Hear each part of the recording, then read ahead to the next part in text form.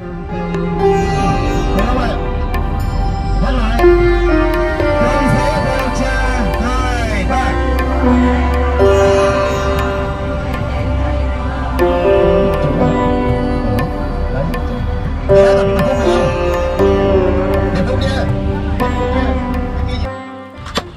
mô Bản sư Thích Ca Mâu Ni Phật. Những ngày di chuyển trên các điểm Phật tích, sau những thời khóa tu học trên đất ấn linh thiêng thì sự tò mò tìm hiểu nét sinh hoạt của người dân bản địa luôn luôn thu hút cái nhìn của người hành hương như chúng tôi.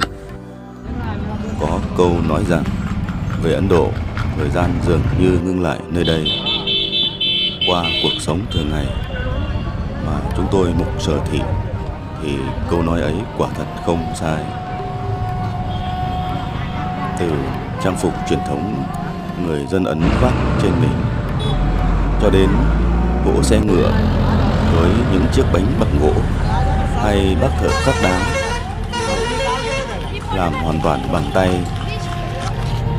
Và những chiếc xe đẩy bán hàng rong với bốn chiếc bánh xe đạp ấn tượng, tất cả đều mang lại một nét cổ kính, xa xưa và màu mè.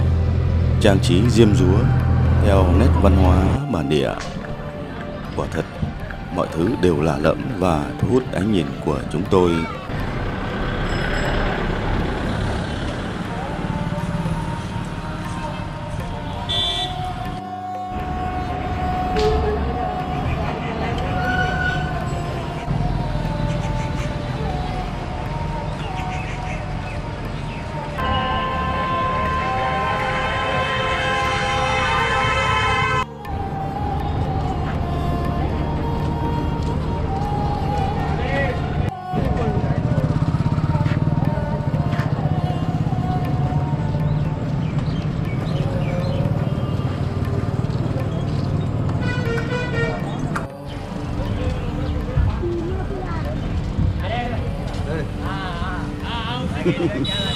handsome, handsome, you handsome.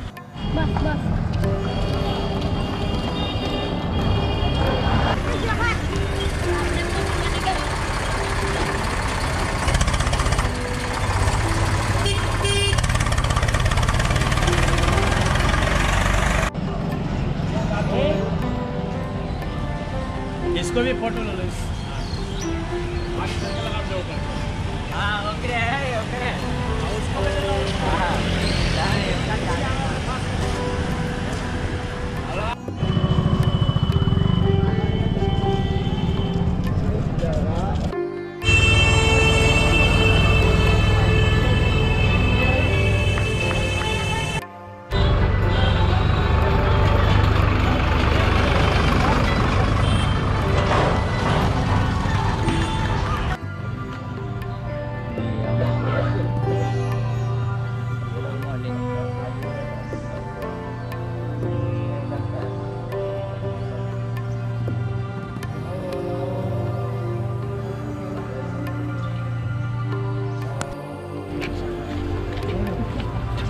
Oh, good.